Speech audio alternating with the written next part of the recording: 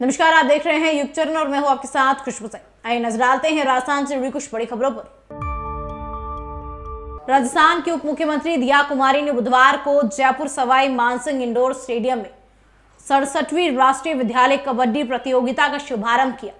इस दौरान दिया कुमारी ने प्रतियोगिता में भाग ले रहे 27 राज्यों के खिलाड़ियों को उज्जवल भविष्य की शुभकामनाएँ दी। दिया कुमारी ने कहा कि प्रधानमंत्री नरेंद्र मोदी द्वारा शुरू की गई उदयमान खेल प्रतिभा योजना, फिट इंडिया कार्यक्रम खेलो इंडिया, विशेष क्षेत्र खेल योजना, ओलंपिक पोडियम योजना जैसी कई योजनाओं से प्रतिभावान खिलाड़ियों को खेलों का महामंच मिला है। उनके प्रयासों से देश प्रदेश के होनहार और हुनरमंद युवाओं को अपनी प्रतिभा दिखाने का मौका मिल रहा है। इससे युवा खेलों में भविष्य निर्माण के साथ साथ अपने क्षेत्र और देश का नाम रोशन कर रहा है। इस दौरान शासन सचिव, स्कूल शिक्षा राजस्थान नवीन जैन, राष्ट्रीय अध्यक्ष क्रीड़ा भारती गोपाल सैनी, राजस्थान कबड्डी संघ अध्यक्ष तेजस्वी गहलोत, राजस्थान संयोजक Krida Bharati Megh Singh, Rajasthan rugby football association के चेयरमैन सुरेश मिश्रा, राजस्थान प्राथमिक शिक्षा निदेशक काना राम और जिला शिक्षा अधिकारी राजेंद्र हंस भी मौजूद रहे। राजस्थान में गुरुवार को आधे से ज़्यादा हिस्सों में घने कोहरे के कारण सुबह 11 बजे तक सूरज नहीं दिखा। जयपुर से उदयपुर जाने वाली फ़्लाइट को रद्द कर दिया गया। कम विजिबिलिटी और सर्द हवा के कारण 20 से ज़्यादा जिलों में ट्रैफ़िक संचालन भी रुक गया। हिल स्टेशन माउंट आबू का तापमान एक बार फिर जमाव बिंदु पर पहुँच गया है। यहाँ पेड़ पौधों और घरों के बाहर खड़ी गाड़ियों पर ओस की बूंदें जम गई है। मौसम विशेषज्ञों का कहना है कि कोहरे का ये प्रभाव शुक्रवार भी राज्य के कई हिस्सों में रहेगा। छह जनवरी से इससे राहत मिलनी शुरू हो जाएगी। मौसम विभाग ने सात से नौ जनवरी तक मावट के होने की संभावना जताई है।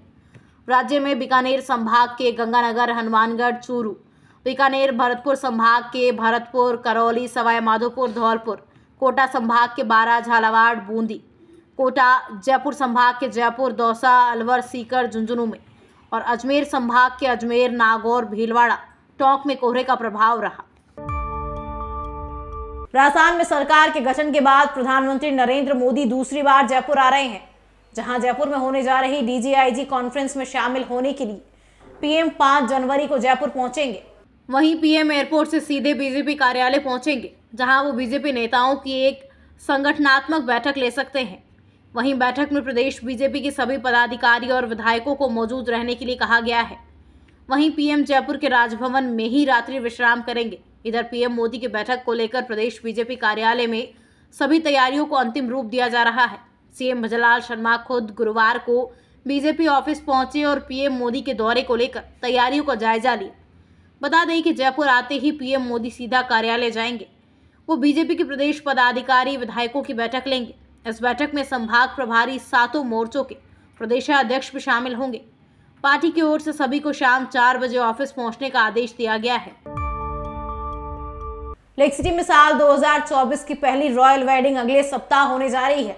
मिस्टर परफेक्शनिस्ट के नाम से मशहूर बॉलीवुड एक्टर आमिर खान की बेटी आयरा खान अपने बॉयफ्रेंड और बॉलीवुड फिटनेस ट्रेनर नुपुर शिखरे के साथ उदयपुर में 8 जनवरी को डेस्टिनेशन वेडिंग करेगी। ये वेडिंग उदयपुर में कोडियात रोड स्थित ताज अरावली रिसोर्ट में होगी, जिसके तहत 8 जनवरी से 10 जनवरी तक विभिन्न फ़ंक्शंस होंगे। फ़ंक्शन को लेकर आमिर खान 5 जनवरी को उदयपुर आ सकते हैं। वेडिंग में करीब 250 मेहमानों के आने की उम्मीद है, जिसमें कई बॉलीवुड सितारे भी शरीक होंगे। वेडिंग से एक दिन पहले, यानी सात जनवरी को, उदयपुर में दुल्हा दुल्हन के परिवार सहित दूसरे गेस्ट का आना भी शुरू हो जाएगा, जो तीन दिन तक फ़ंक्शन में शामिल होने के बाद दस जनवरी को वापस लौट जाएँगे। वहीं दुल्हा दुल्हन के परिवार व मेहमानजनों के लिए होटल के सभी एक सौ छिहत्तर कमरे बुक किए गए हैं। Social media star Dhauli Meena इन दिनों अपने गृह ज़िले, दौसा में है। उनके वीडियोस आए दिन सोशल मीडिया पर वायरल होते रहते हैं। बुधवार को धौली ने प्रेस वार्ता कर अपनी सोशल मीडिया लाइफ के बारे में चर्चा की। धौली ने बताया कि जब उनका एक वीडियो सोशल मीडिया पर बहुत ज़्यादा वायरल हुआ तो वो डर गई। बाद में परिवार के लोगों ने उन्हें समझाया कि ये कोई गलत काम नहीं है, ये अच्छी बात है। धौली के पति लोकेश मीना आईएफएस अधिकारी हैं। उन्होंने बताया कि धोली विदेशों में जहाँ भी जाती है, लोग उनके राजस्थानी वेशभूषा लहंगा लुंगड़ी के कायल हो जाते हैं। धोली मीना ने बताया कि वो लगातार विदेश में भारतीय संस्कृति का प्रचार प्रसार करने में लगी हुई है। वो लोगों को भारतीय संस्कृति के दायरे में रहने की अपील करती है, जिससे भारतीय संस्कृति का प्रभाव विदेशों में भी जीवित रह सके। धोली ने बताया कि वो दौसा में देव दर्शन यात्रा पर है।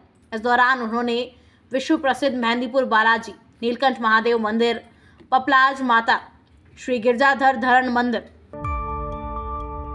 राजस्थान से जुड़ी ऐसी खबरों को देखने के लिए बने रहिए हमारे साथ युग चरण पर। तब तक के लिए नमस्कार।